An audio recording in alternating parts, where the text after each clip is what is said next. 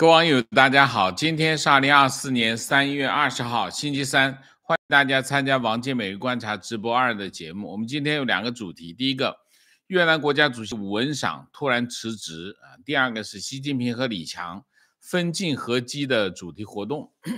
在我们今天主题活，今天主题开始之前，我们先播报三月二十号直播二的要闻简报。第一个。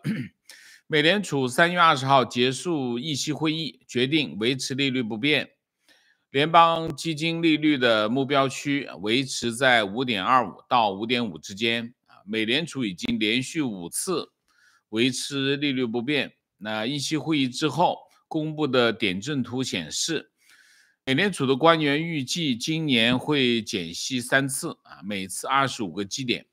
那么到今年年底，联邦基金利率将会为将会是百分之四点五。那么二零二五年将会减息三次，每次一共也会一共也是一共减七十五个基点。那么利率中位数是百分之三点九。那么二零二六年利率中位数会下降到百分之三点一。美联储会后发表声明说，美国经济正在稳步呃稳健的步伐增长。就业增长仍然非常强劲，失业率维持在比较低的水平。不过，经济前景仍然不确定。过去一年时间，美国通胀放缓，但仍然处于高位。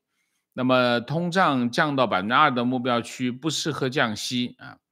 美联储的主席鲍威尔在会后的记者会上表示，目前的利率政策已经达到了峰值啊，就利率，他认为现在是峰值。峰值是什么概念？以后就往下的了。那么，在今年某个时候开始放宽货币政策是合适的。那么，如果劳动力市场出现显著的疲软，那就是启动减息的时机啊。那么，第一次减息将会对市场有重大的影响。美联储会仔细的考虑和评估数据，谨慎的对待减息的问题啊。他说，如果有需要。美联储准备把利率维持在一个比较高的水平。另外，美联储预测今年经美国经济增长百分之二点一，比二零二三年的十二月预测上调了零点七个百分点。那么，今年的失业率会从百分之四点四点一下降到百分之四点零。核心通胀由百分之二点四上调到百分之二点六啊。美联储议息会议结束，符合市场预期。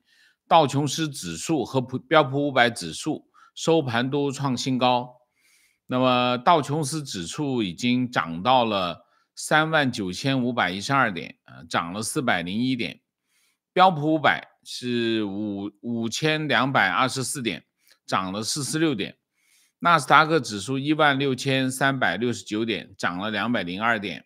啊，这是第二，这是第一，第二。美国众议院中国特色中国问题特色委员会，呃，中共问题特色委员会三月二十号要求美国政府对中国的无人机提高关税，原因是中国的无人机在美国市场大规模的扩散，威胁美国国家安全和经济安全。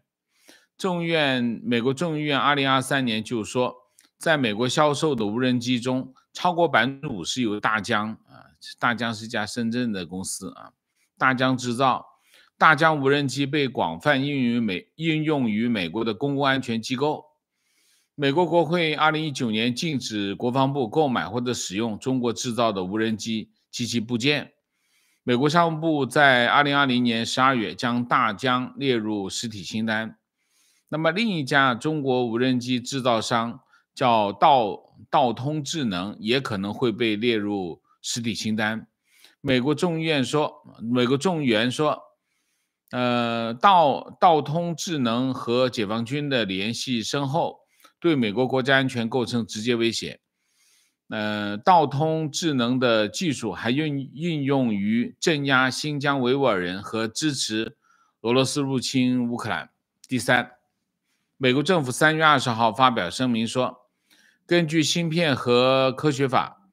商务部将会向这个英特尔提供八十五亿美元的直接资金和一百一十亿美元的贷款，也就将近两百亿美元了啊。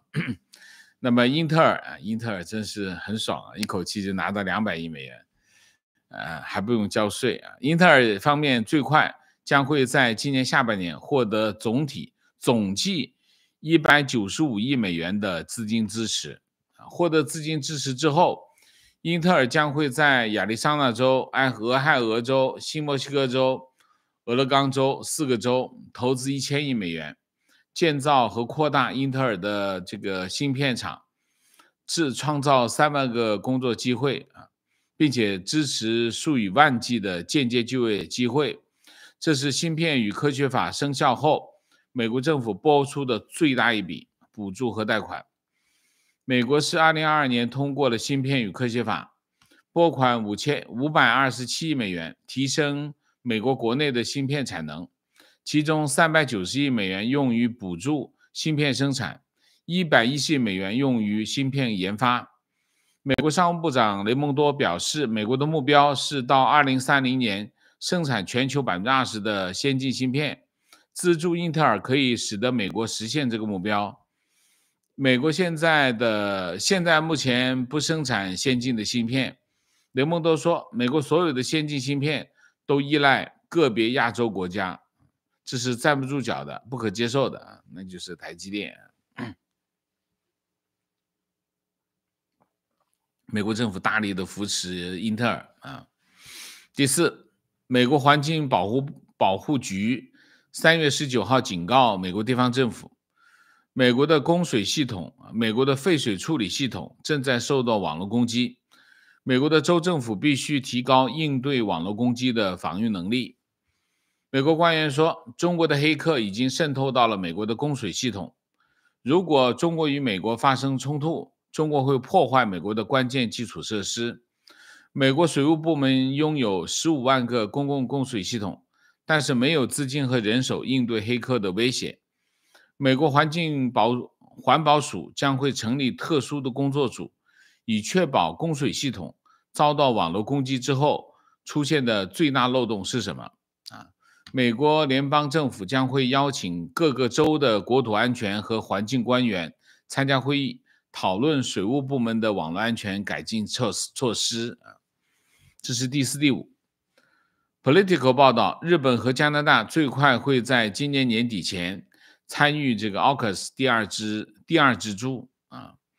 那么 AUKUS 协议是二零二一年九月签署，签署的第一支柱就是美国和英国帮助澳大利亚。建造核动力潜艇，那么协议的第二支柱就是美国、英国、澳大利亚三个国家在人工智能、高超音速导弹、量子技术等等等领域开展军事技术的合作。那么英美澳三国一直想把第二支柱扩大到更多的盟国，那么日本、加拿大、新西兰、韩国都表示有意加入。那么，另外，美国担心，如果前总统川普在十一月获胜啊，那就有可能退出或者废除 AUKUS 啊，所以要扩大 AUKUS 协议的覆盖面啊，这大家都在做应急准备啊。第六，乌克兰媒体报道，美国国家安全顾问沙利文三月二十号突然到访乌克兰，沙利文在记者会上说，美国相信乌克兰，乌克兰也应该相信美国。那么，拜登每天都在为乌克兰争取资金，美国国会议员也会同意美国政府的要求，向乌克兰提供六百多亿美元的援助啊。第三个，他说，俄罗斯其实已经被打败。第四个，他说，美国还没有准备好向乌克兰供应这个陆军战术导弹，这款导弹射程是三百公里，是乌克兰现在最急需的远程导弹。那么沙利文这番讲话，你一看就知道他没有好消息，但他又跑到乌克兰去，不知道他为为什么。另外，美国陆军法国陆军司令希尔三月二十号在法国的《世界报》发表文章，希尔说，法国部队已经准备好，准备迎接最艰难的战争。尽管俄罗斯一再威胁要进行报复，但是法国总统马克龙仍然考虑。向乌克兰正式部署军队。那么，法国总统马克龙二月份表示，不排除向乌克兰派遣北约的地面部队。希尔说，法国能在三十天之内派遣两万名士兵开展行动，法国也能指挥六万名士兵的盟军。那么有一句话可以这个评价拜登和马克龙，这句话就是一个伟大的领袖总在恰当的时候做出正确的选择。这谁说的呀？这是希尔说的。一个伟大的领袖总在正恰当的时候做出正确的抉抉择。懦弱、随境、交易换来的只有血腥，而不是和平。啊，另一方面，英国前国防部长华莱士在接受 Times 电台采访时说，英国军队可能不得不在乌克兰作战。啊，华莱士说，威慑的一部分是模糊性，就是让对方对方猜测我们会走多远。或者我们会做些什么？模糊性是普京玩的最娴熟的做法。普京让每个人都在猜测。重要的是，英国永远不会关闭派兵的通道，而且我们也需要让人不断的猜测。啊，什么意思啊？他也要像马克龙一样发放战派兵的这种信号啊。第七，路透社报道。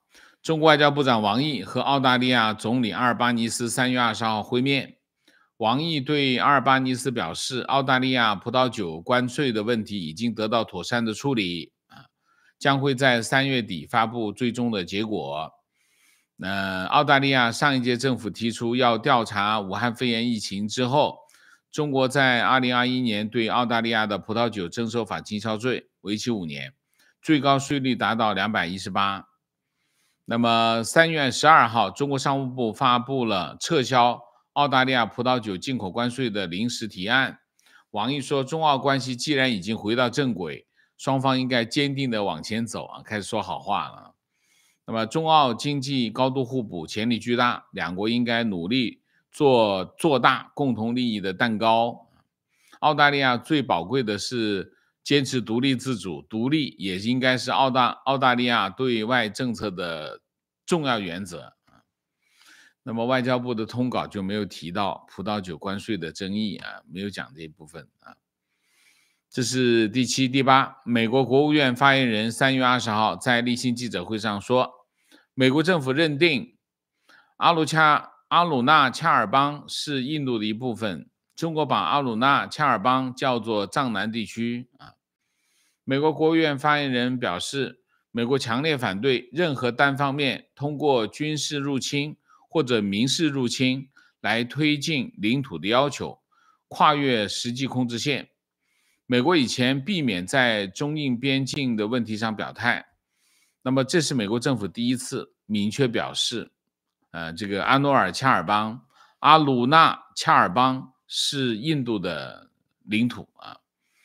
二零二二年十二月九号，印度军队和中国军队在阿鲁阿鲁纳恰尔邦的达旺地区发生冲突啊。印度军队说有六名印度军人受伤，三百多名三百多名解放军士兵参与了冲突。中印两国的边境冲突持续到现在。那么，两国军队在边境加强了阵地，部署了。更多的部队和装备啊，中印关系紧张的同时，美国和印度加强了双边关系。去年六月二十三号，印度总理莫迪对美国进行了国事访问。那么九月九号，美国总统拜登回访了印度啊。那么现在印度政府开开始明确说，藏南地区是印度的啊，这件事情很重要啊。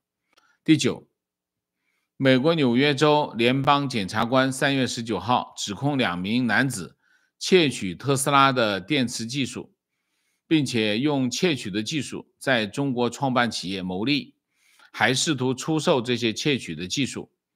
这两名被指控的男子，一个是加拿大人，叫呃叫普鲁夫格格拜尔，他是在三月十九号。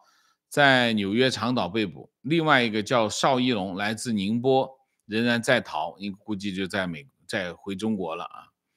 他们窃取的电池技术涉及高速电池装配，那么这个技术对电动车制造非常重要，研发研发成本高达几百万美元。起诉书指出，这两个人曾经在加拿大的海霸公司工作。海霸公司研发了这项电池制造技术。特斯拉是二零一九年收购了海霸公司，所以特斯拉成为这项电池技术的拥有者。二零二零年，这两个人在中国开设了他们自己的公司，利用特斯拉的技术制造和特斯拉相同的电池装备线。在营销的时候，直接把自己的电池装配线说成是特斯拉的替代产品。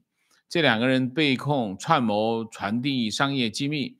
如果罪名成立，最高可判有期徒刑十年。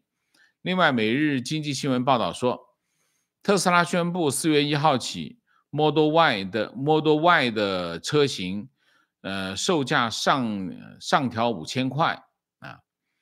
特斯拉的官网显示，Model Y 后驱版售价是二十五点八九万元，有八千元的险补啊。呃，车险补贴和一万元的车期减免，实际落地价是二十五万零九万，二十五点零九万。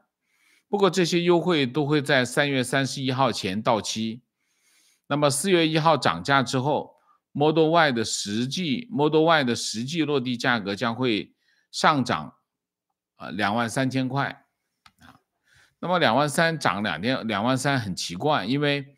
中国电动车的价格战已经升级到了割喉战啊！比亚迪在二月十九号率先掀起了这个价格大战，把它的秦 Plus 售价从十万降到不到八万，七点九八万啊，一口气降了两万块。吉利、吉利、五菱、长安跟上，也把这个电动车的价格降了一万到三万。那么电动车，中国的电动车都是低价政策抢市场，那么包括高和汽车、哪吒汽车都陆续停产，所以特斯拉这个时候涨价，不知道它为什么，很奇怪啊。中国的这个汽车协会的秘书长说是特斯拉用这种方，这是特斯拉的一种销售策略。就意思就是我四月一号要涨价了，你要买赶紧买哦。那这时间太少，现在只有十天时间，那是不可能。呃，趁趁联会的秘书长说这个话，难道是中国政府向特斯拉施加压力啦？啊，因为你这个时候减价，别人减价你涨价，嗯，销量会有很大影响的啊。第十，法新社报道，俄罗斯圣彼得堡法院三月二十号。以制造骚乱和抹黑俄罗斯军队的名罪名，判了一名女子叫齐里亚齐里亚蒂耶娃监禁八天，因为她在总统选举期间用红色的这个签名笔啊，叫记号笔或者叫签字笔啊，在这个选票背面写了一句拒绝战争啊，后来他被罚款四万卢布啊，那么齐里亚杰。齐里亚杰耶娃说，他当时在秘密投票，但是有一名警察看了他的选票，发现选票背面写了拒绝战争，警察当场阻止他投票。齐里亚耶杰齐里亚杰耶娃说，警察侵犯了他呃秘密秘密选票秘密权啊。推特有视频显示，在这次俄罗斯大选当中，有荷枪实弹的士兵闯进投票。投票的密写间啊，看选民写写票啊，那这些情况都表明这次俄罗斯大选就是一次假选举啊。普京已经在选假选举中获胜，但他还不满足，还要赶尽杀绝啊，去告这些人。普京三月十八号在胜利演讲中警告说，破坏选票的俄罗斯人必须受到处理，所以就有齐利亚。第耶娃被监禁八天的事情啊，十一，浙江省宁波市的慈溪市啊，慈溪是一个县级市，呃，龙山镇有一家工厂，三月二十号凌晨发生火灾，火灾非常的大啊，整个的工厂被烧到坍塌。视频显示，厂房距离公路不到不远啊，有四五层楼高的厂房。这个陷入一片火海啊，有墙体倒塌。当地的居民说，这家工厂主要是生产纸箱。事发的时候在深夜，火势非常大，周围很远都能看见大火的火苗往上冲啊。那么慈溪市的消防部门说，火灾没有造成人员伤亡。另外，安徽省六安市六安市啊一家新材料工厂，三月十八号凌晨五点发生爆炸，引起火灾，造成一人失踪。视频显示，明火是从工厂冒出啊，滚滚浓烟形成了巨大的烟柱，冲向空中。当地的居民说，听到巨大的爆炸声，还有一股强烈的气流扑面而来，让人无法呼吸啊！这冲击波！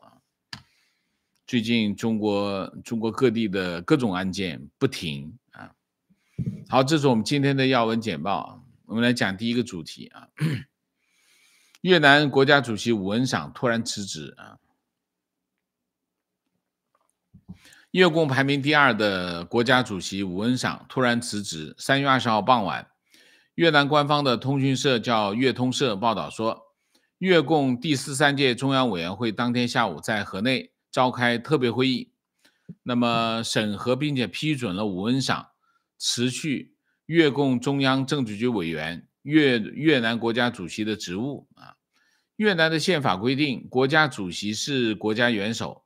那么，国家主席是越南内政和外交事务的最高代表。越南国家主席是从越南国会代表中选举产生，向国会负责，并且报告工作。那么，一九九二年以来，越南国家主席在越共中央排名都是第二啊，他党内的地位仅次于越共总书记啊。越通社报道说，吴文赏现年五十三岁。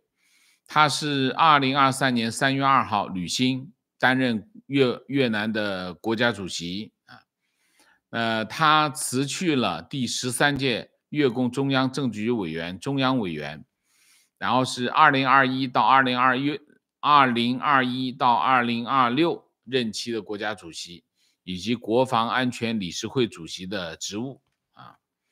那么越共中央的公报说。武文赏是越南党和国家重要领导人，从基层成长起来，担任党和国家很多重要的领导职务啊。那么越共中央在公告中指出，武文赏违反了党的纪律纪律啊，他的违法行为在越南人民群众当中造成了不良的影响，破坏了越南党和国家以及他本人的声誉。武文赏充分认识到自己对党、国家和人民犯下的错误，因此辞去他担任的各项职务。啊，武文赏的前任是二零二一年四月上任的国家主席阮春福。那么疫情期间，越南的一系列高级官，越南的高级官员发生了一系列涉及这个核酸检测试剂的呃贪腐弊案啊。那么阮春福负起政治责任，申请辞职退休啊。那么阮春福的任期任在任时间也不到两年，武文赏正好一年。文赏是二零二一年起担任越共中央书记处常务书记，阮春福辞职之后，武文赏就在二零二三年的三月二号。那么，在越南第十五届国会第四次特别会议上，选为这个越南的国家主席啊。武文赏当时就要完成阮春福剩余的任期，就是到二零二六年。那么武文赏呢，是一九七零年十二月十三号出生啊，他原籍是永隆啊。那么零四年的十一月，武文赏三十四岁。就当选成为胡志明市的市委委员，胡志明市第二第十二郡啊，第十二郡出问题啊，抱歉啊，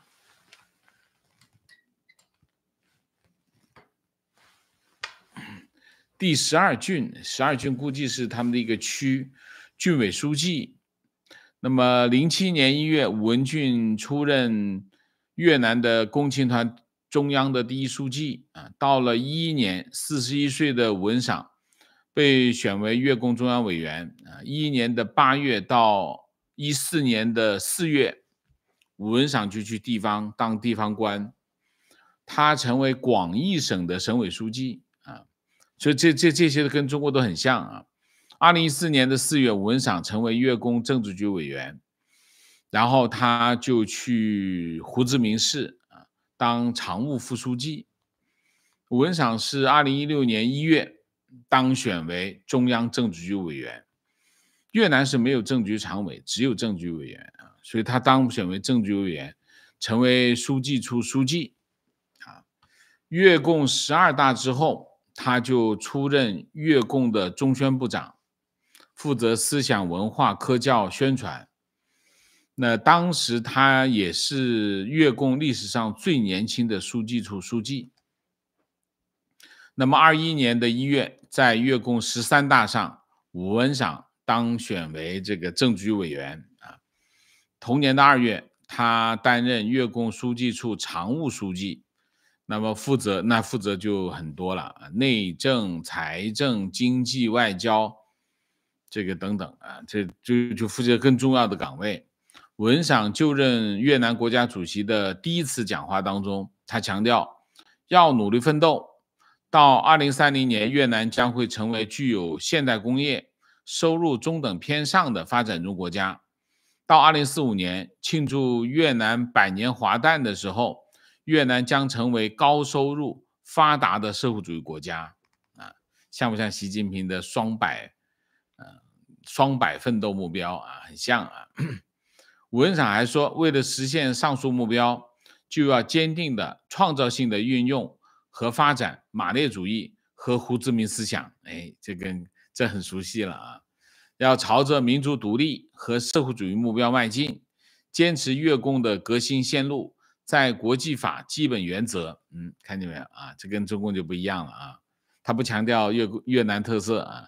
他强调国际法基本原则，平等、互利、合作的基础上，确保越南国家和民族的利益至上。他们也讲加强党的领导啊。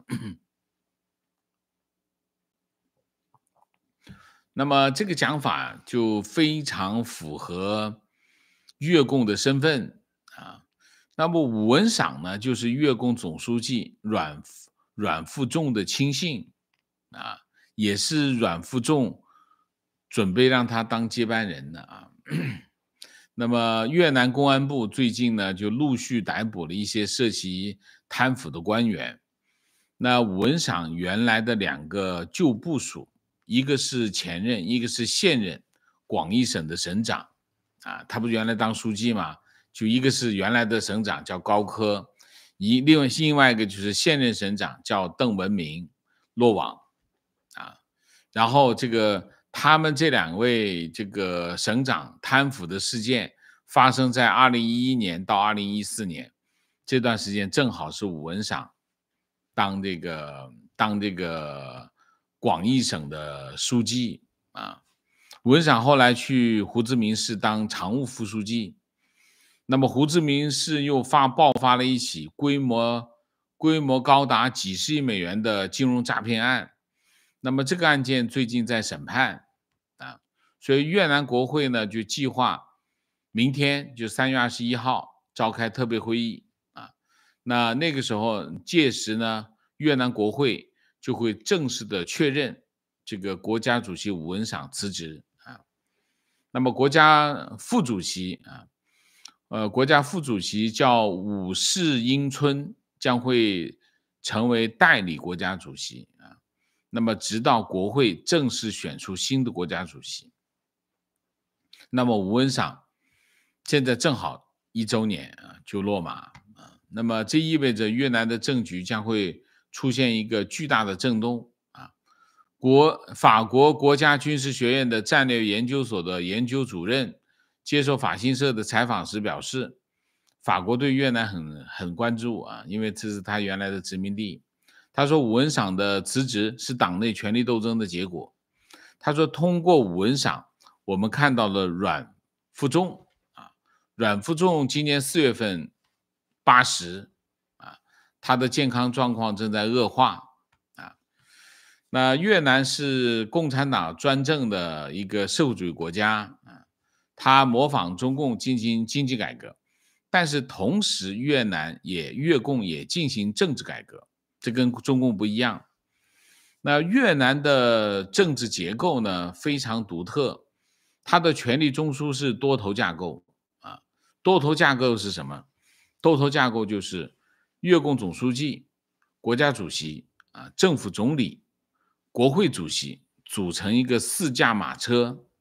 他就不放在一个人身上啊，他就分四个人。那么随着民主化的进程，那么作为社会和非政府组织的越南越南祖国阵线，啊，他的政治地位开始提高。就非政府组织啊，这共产党能容忍吗？那不可能啊。越南祖国阵线的主席，你可以看成四驾马车，这是半驾，这是半价啊。那他的地位开始越来越高啊。那么越南的四驾半马车的核心权力架构，就是突出的特点就是分散，他就权力分散啊，权力分散到四个人的四到五个人的身上，就跟中共不一样。中共其现在就是三合一啊，总书记、国家主席、军委主席三合一一个人，那这这那就中。那那就相当于什么？相当于个人独裁啊，和越南的这个分治啊不一样。而且越南的政治权力结构还沿袭了一个格局，什么格局？就是南北党、南北党的格局。那么由南、由北部、中部和南部的人分别担任一些重要的岗位。那么越共总书记啊。由这个河内为中心的北方干部担任啊，那么负责什么呢？负责意识形态和组织工作。政府总理是由胡志明市为中心的南方干部，胡志明市胡志明市就是原来的西贡啊。那么南方干部担任这个总理，政府总理主管经济啊，呃，然后就是国家主席和国会主席。就是由中部地区的干部担任啊，那他现在国国家主席，他更多的呢有象征意义啊，国会主席的权力越来越实际化，所以越南这种南北党的现象，它不仅仅局限于地理上的划分，还体现在意识形态上，意识形态上的差异啊。南方，南方原来是法国，法国殖民地，后来又被美国啊，美国影响，所以它受资本主义意识形态的影响，所以南方的干部比较重视市场经济，也容易接受西方自由民主思想的影响。那么北方呢，就受苏联、受中国的影响比较大，重视政治和意识形态，比较左。那粤通社三月二十号发布的另外一条报道显示，粤共中央最近开了一个越共十四大人事小组的第一次会议，越共总书记阮富仲在会上发表了讲话，题目是“越共十四大人事准备工作”，特别关注若干的问题啊。那么这个讲话中，阮富仲指出，越共十四大中央委员会的委员必须在政治本领。道德品质、工作能力上具备真正的模范党员，必须是德才兼备的人，其中以德为本啊。那么，二一年一月中，越共开了十三大，阮仲富就再次当选这个总书记啊，就是第三个任期啊。原来我们现在才明白，习近平。第三个任期是跟阮仲富学的，啊，当时阮仲富是七十七岁啊。那么政府总理阮春福在二一年的四月当选为国家主席，阮春福阮春福当时是六十七岁啊。阮福仲、阮春福这两个人同时打破了越南高干六十五岁退休的规定啊。那用特殊安排的姿态，这个继续连任政局委员。到了去年的一月，那么因为这个阮阮富春阮春福就因为核酸试剂的贪腐弊案辞职退休啊。那么越共十越共十四大将会在二零二六年二六年召开啊。那去年十月，越共中央政治局召开了十四大的筹备小组，文赏原本就认为，就他就是希望很大，因为他有年龄优势啊。呃，中央政治局有十六名中央委中央政治局委员啊，文赏是唯一一个七零后啊。那么，中央政治局越共的中央政治局不设常委，他实行政治局的集体领导啊。那么，十三届中央政治局原来有十八人，那阮春福辞职啊，阮春福早两早两个月呢，就是范平平，范平明，范平明是副总理辞职啊，就因为这个撤侨包机案件。贿选案啊，就辞职啊，是责令他辞职啊。那么阮富仲从一三年开始开展一个反反腐败运动啊，过去两年针对疫情期间的舞弊案件开展了非常严厉的打击和查处，所以震动整个越南政坛。那么二零二二年六月六月七号啊，这个越南的政坛新星。卫生部的部长叫阮青龙，河南市的市河内市的市长啊叫朱玉朱玉英，这两个人都是政治明星，双双查办啊，因为贪腐案查办啊。那么主要是一个核核酸试剂核酸试剂的贪腐案啊。那么之后呢，越南公安部还对疫情期间。包机撤侨，嗯，展开调查，有三十多人涉案，并且被捕被起诉。那么包括范平民的助理，啊，那么还有谁呢？越南驻日本大使、驻马来西亚大使、驻还有越南的外交部、越南的公安部的移民局、交通部民航总局的负责人，啊，那到了二零二二年的十二月。越南的外交部长裴青山和越南外交部的党组受到纪律处分。那到了十二月三十号，两个副总理辞职，一个是范平民，一个是武德瞻辞职。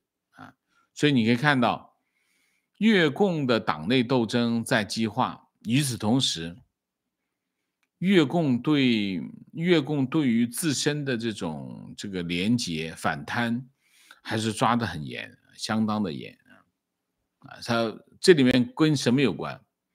跟分权有关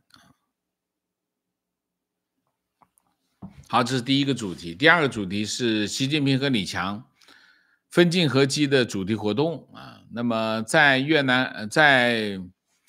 在湖南考察的中共总书记习近平，三月二十号下午回到了长沙啊。他在长沙主持一个座谈会，座谈会的主题就是推动中部地区崛起啊。李强、中办主任蔡奇、副总理丁薛祥出席座谈会。发改委的主任郑三杰啊，他没受那个影响啊，没受女记者的事件的影响啊。继续出来搞活动啊！山西书记唐杰、唐登杰，安徽的书记韩俊啊，江西的书记尹红啊，这个河南的书记楼阳生，湖北的书记王蒙威啊，呃，湖南的书记沈沈晓明啊，先后发言，那么就推动中部地区崛起汇报工作情况，提出意见和建议啊。然后习近平就上来讲话啊，讲他说上一次啊，我们讲中部崛起的座谈会开了五年啊，五年前开的，这五年来呢，中部地区呢经济总体是稳定的啊，然后就肯定中部地区的这个成绩成绩啊，然后他又说，同时要看到推动中部地区崛起仍然面临不少的困难和挑战，要切实的研究解决。然后就若干个要啊，要这个要那个啊，既要又要，要科技引领，啊，培育发展新质生产力啊，又提新质生产力，要加强和其他重大发展战略的衔接啊，这是没话找话。统筹推进这个深层次改革、高水平开放，这也是没没讲一样。协同推进生态环境保护和绿色低碳的发展，这跟没讲又一样。坚持城乡融合发展啊，然后又是坚持高质量发展、高水平、高水平安全相互促进，这都跟没讲一样啊。要求中央区域协调发展领导小组加强统筹协调、督促指导。习近平讲了一堆话，很长，大概就这几条。然后是李强讲话，认真学习领会，深入贯彻落实。最后是丁薛祥，差不多啊。那地这个这个地陪是谁？地陪是中宣部长李干杰，副总理何立峰，国务院秘书长吴振龙。国务院秘书长吴振龙是来陪这个呃李强的，因为他是秘书长。然后还有一个就是发改委的副主任穆宏啊，陪郑三杰的啊。那在中共所有的经济政策当中，有两个政策是垃圾中的垃圾啊。那么第一个政策就是自贸区啊，自贸区搞了几十年，全部都烂尾。为什么？因为自贸区本身，中国推广的这自贸区本身就是个伪命题、伪政策。自由贸易有两个前提啊，第一个前提叫产业啊。你没有产业，你就没有贸易。你要有产业，你才会有贸易。这第一。第二，你要有对象。贸易是两个经济体之间的事情，你不可能没有没有对象，你在那谈贸易，对吧？啊，看这个没电了，没电了，来看一下。抱歉，我要处理一下啊，这个是没注意到，注意到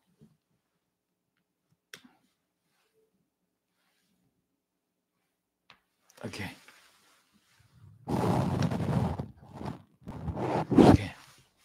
抱歉啊。那基本上，如果你没有产业，你有没有对象贸易的对象或者贸易的对手？你怎么会有自贸区呢？贸易是两个经济体之间的事情。那自由贸易是什么？自由贸易是你给你的贸易伙伴或者是贸易对手一个更好的贸易条件。那结果是什么？结果中国各地在搞各种各样的自贸区，其实是什么？其实他们搞的不是自由贸易区，他们搞的是经济权限和优惠政策。现在这个时代，你再去强调经济权利，强调这种优惠政策，是反改革开放的政策。为什么？他要回到权力经济的时代，回到权力经济的状态。改革开放的趋势是什么？改革开放开发开放的趋势是普惠制，就是你在这个这个地方试点，效果不错，你就推广到全国。叫普惠，而不是说你有这个行政级别，你就享有这种这个优惠政策，这是不对的。这是中国经济的一股逆流，这第一，就是自贸区。第二个是什么？第二个垃圾中的垃圾就是区域经济。区域经济有没有？区域经济是有的。但是区域经济它是基于供应链的供应链的关系建立起来的。你比如说深圳和东莞，啊，前店后厂，前面是店，贸易公司设在深圳，工厂设在东莞，或者是从东莞买原原材料在深圳的开的厂。总之，他们是基于供应链的关系建立出起来的紧密的关系。所以其实。深圳跟和深圳最紧密关系的一个城市就是东莞，结果深圳跟东莞各自各搞各的啊，深圳反而跟跟不搭嘎的这个惠州和和汕头在搞合作，没有跟东莞搞合作，东莞东莞不服深圳啊，东莞自己觉得自己挺大，所以是他它在经济上有关联，但在行政上各自都各自独立。然后你你这是一个另外一个，比如说广州和珠三角，上海跟长三角，这都是因为经济供应链的关系建立起来的一种区域经济。但是中国现在搞的区域经济是基于什么？基于行政区划，基于权力的关系。你比如说环渤海经济带，也环渤海经济带，比如说这个是什么中部崛起，什么东北振兴。全部都烂尾，为什么？因为它完全没有，它完全没有经济上的联系。你比如说环渤海经环渤海经济带，环渤海经济带是通过北京啊，北京、天津、河北啊，让他们变成一个经济带，成吗？当然不成。为什么？他没有经济往来，没有经济联系。北京跟河北根本。根本根本没有产供应链上的关系，北京跟天津更没有，所以他们之间完全不搭界所以这些呢，成为什么呢？成为政策资源的浪费。但是呢，习近平就特别好哪口？好区域经济这口，非常喜欢搞。指他，习近平管经济。大概最喜欢管的就是区域经济，为什么？因为区域经济这个话题假大空，看上去很凶的样子，但是其实啥都啥都不需要，什么跟这个协调一下，跟那个协调一下，有什么好协调的？成就成，不成就不成呗。他而且他这个他吹起牛来完全不需要成本，而且根本也无法验证，所以呢，习近平最喜欢搞。搞这个说搞这个区域经济这个这个话题，因为这个话题没门没有门槛，他还能掺掺和两下，其他的经济话题他根本掺和不了。那么今天最特别的是谁呢？是李强啊，李强是跟跟习近平同一天出北京，习近平是十八号到了长沙，李强是十八号到了福州，那么第二天呢，习近平就去一趟常德。李强就去了哪？去了南昌，从福州到了南昌。那第三天呢？习近平又从常德回到了长沙，李强就从这个南昌开车横着往西走，就到了长沙啊。那么这个就开这个座谈会啊，这个完全没有意义、没有价值的座谈会。那李强在福州跟南昌考察啥呢？走基层，看民生。本来呢，总理呢，在中国总理是管经济的，跟越南是越南其实跟中国学的。但你看看李强去福州、去南昌啊，然后都看的都是民生，完全不像是经济总管的样子啊，完全不是。言必习近平啊，那这一趟呢，基本上一个总书记，一个总理分进合击，走了三个省，开了一个完全没有意义的座谈会。当然，非常有趣的是什么？非常有趣的是，习近平去长沙，然后呢，去长沙，长沙有很多地方可以去啊，呃，长沙的红色资源也很多，他哪都没去，他就去了第一师范。看了一眼，就去社区走了一下，可能就是估计就是第一师范旁边的社区走了一下，就去了趟常德。他去常德啥也没有，不理解为什么去常德，他怎么不去株洲？不去，就就很多地方，就是湖南，湖南是个湖南是有很很多红色资源的地方，他好像这次来很奇怪，你看不出来。你看不出来，习近平这一次去湖南，他有什么政治用意？而且把李强从南昌招过去，远是不远，但费脑子啊。那中共二十大之前，习近平满身都是政治，浑身是政治，出去考察，出去讲话、参加活动，一张嘴都是话里有话。二十大开完之后，习近平连任，哎，他突然他的行动完全没有政治了，完全变成了去政治化。他讲完话之后，全靠新华社记者拔高。所以，习近平现在露面只剩下了一个目的，什么目的？占领头版，谁的头版？人民日报啊，这个情况跟当年苏联的后期很像，勃列日涅夫啊那个时代很像，僵化、懈怠、麻木、失去目标，失去了目标，同时也失去了逻辑和系统。那么这件事情，我觉得会改变中共的党内政治文化。好吧，那我们今天主题就讲那么多啊，今天又讲多了五十分钟了。我们下面进入互动，进入互动之前温馨提示，请大家点赞，请新来的网友订阅，请大家加入我们的会员，支持我们做更好的节目啊。抱歉，我们的刚才那个 iPad 忘了充电。充电，所以就，所以就会没电了，所以插个情绪。现在无论官方做什么说什么，我们基本上无感啊，连讨论的价值都没有，都在骂他。嗯，观点对领袖的高要求才是先进国家之本。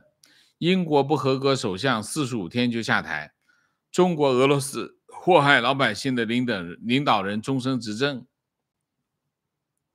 提问：前有燕郊爆炸案阻拦央视记者采访，后有邯郸三个学生杀人埋尸，中共不管是对自己人还是公民，都展现出无差别的维稳，而且不分地域，这几乎是一种共识一般的存在。请问王先生，现在中共这种无差别的维稳？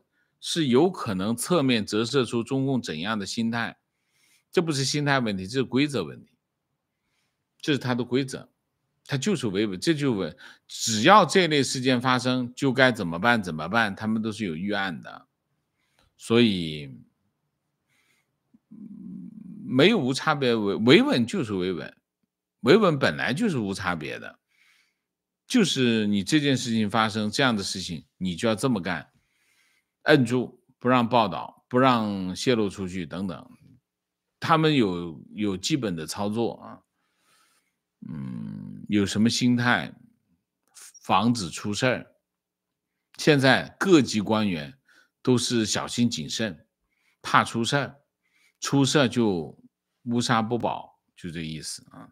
特别是引发舆情的出事儿，那就更是更是后果。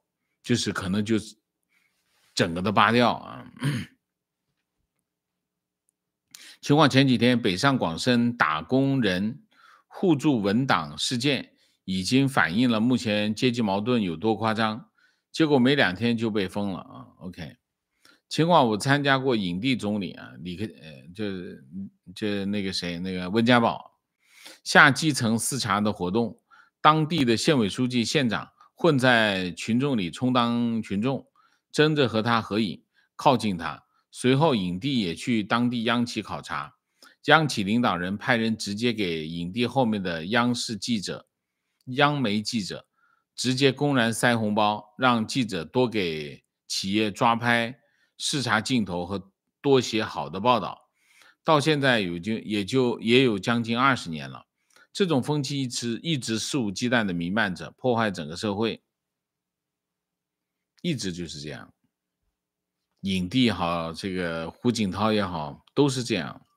现在跟以前有一点不一样，反正习近平对这些活动零容忍，所以应该不敢不敢这么干啊。情况，中国企业连好一点的计算器都生产不了。别说高端芯片，某中国企业山寨日本卡西欧的九九幺计算器，结果速度慢，出错率还高。情况坐标顺德，最近医院开急救车的朋友说，现在四十多，现在很多四五十岁的人阳后很多心梗去世。上个星期我妈有心脏不舒服的情况，今天只能听一半直播，下午要我休息，跟她去看病。OK，祝祝你你妈妈身体健康啊，尽快的好起来啊。观点对于共产党来说，改革是伪命题，根本是骗人的东西。OK，情况我们公司收的是银城，银城，银城就是银行的承兑汇票，银行不接受，说现在有一个黑名单，黑名单上的银行基本上是小银行开的承兑汇票都不能收。OK，提问为什么中共宁愿让公务员减薪，也要送钱给国外？而不是把钱省下来保证公务员和退休人员的收入，这些不是他们的基本盘吗？难道外交比他们更重要？嗯，外交当然比这些人更重要。这些人也是材料，也是材料啊，好一点的材料啊，所以外交肯定比他们重要。他当然，你如果讲习近平的顺序，那肯定外交在。在这些公务员和这退休人员之前，提问：习近平天天喊这些空洞的口号，是为了宣示他的权利、刷存在感、消除心中的不安全感吗？喊这种空洞的口号，刷存在感，我认为是很重要的啊，对他来说，这是一个方面。另外一个方面，他也没有什么实际的能力啊。习近平就是没有能力，所以他喊空口号，喊口号口号就不需要能力，而且不需要做到，怎么喊都没事儿啊。观点：集权体制就是封建地方家天下的翻版，有一家人说了算，变成了一帮人说了算，变成一个人说了算。观点：每个人的人生观和他的生活经历有关系，遇到能启发的人也很重要。比如我生长在两蒋时代，一直认为他们是伟人，后来到了美国，经历了民主法治，也没有改变。直到接触了王先生，才让我体会到国民党那一套和共产党没差。当年的新闻局可以封杀艺人，比如歌星苏。姚苏荣只不过为了一只今天不回家，就被迫远走他乡。国民党干的坏事跟共产党一样多啊，这和大陆有什么差别？王先生是我的启蒙人，希望王先生的节目能够一直做下去。谢谢你，谢谢你的支持啊！情况坐标安徽，包公祠这几天，呃，停止接待游客，对外宣称是内部维修，同时包公祠门口多了好多。来回闲逛的人估计都是便衣，想不到一个宣传青天大老爷的景点也成了维稳对象，而且一个弱女子的一声哭泣成了敏感地点。共产党三个自信就是无数的害怕。说得好，情绪晚上下班想看会儿电视，结果信号接错到新闻联播，臭不要脸的对香港基本法二三条立法。通过大家赞赏，听得我恶心直反酸水。香港曾经我多么熟悉的城市，一离开香港，心情就像失恋，怕是再也找不到了。香港越来越像隔壁的深圳和东莞。观点：中国政府从动态清零开始，已经大幅丧失了公信力。近几年，越来越多的口号政策出现，口号唱得贼响，实施的时候各种打折扣。答应的事情不干，外表上是大老虎，实际上是个病猫啊！请问王婶，是不是越南也有可能走回头路？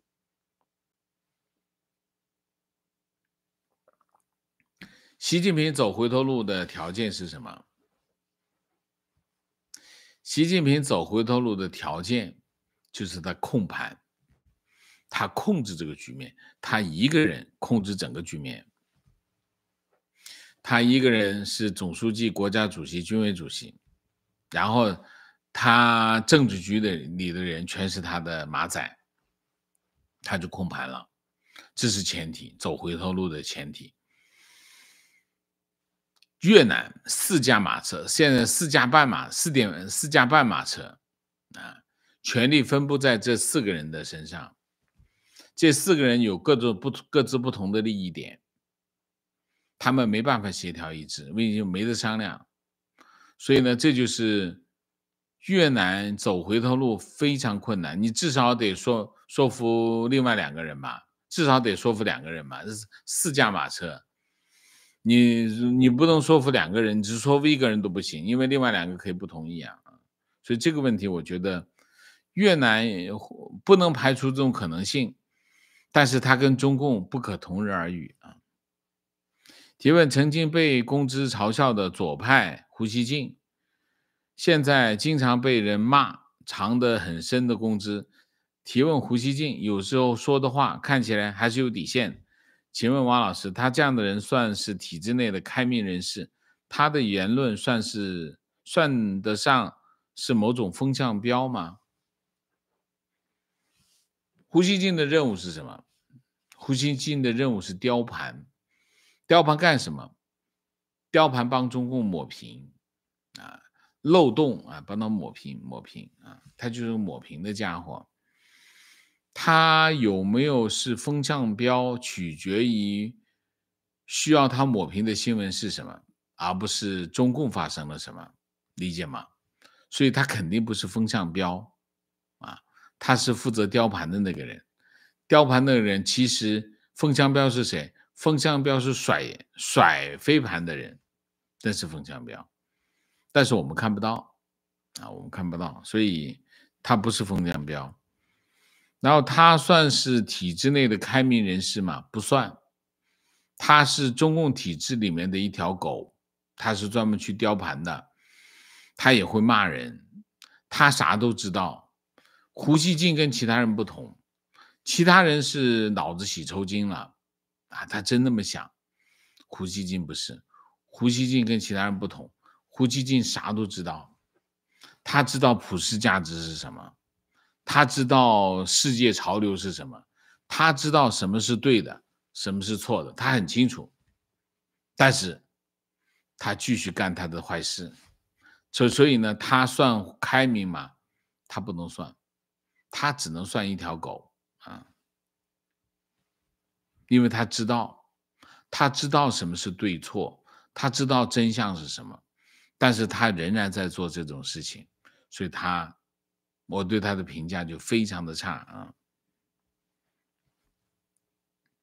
在中共眼里，除了习近平，其他的都是可以牺牲和代价的耗材，是这样的。观点：中共的信用流失是从政策口号开始的。毕竟大家还是知道顺口溜是种不出庄稼的。OK，观点：北方派主张渐进式改革，不知道是不是骗人的，意思就是说慢慢改，一点一点的改。嗯，越南改革比中共要快啊，越来越快。嗯，明谢 L 文哥，谢谢。好，我们今天的节目就是这样，感谢大家的参与，我们下个节目再见。再见之前，请大家点赞，请新来的网友订阅，请大家加入我们的会员，支持我们做更好的节目，做更好的自己。谢谢大家。我在这里特别提醒大家，请大家尽量的来参加我们的互动，因为有很多网友呢喜欢在评论区写评论啊，希望希望能够回回应。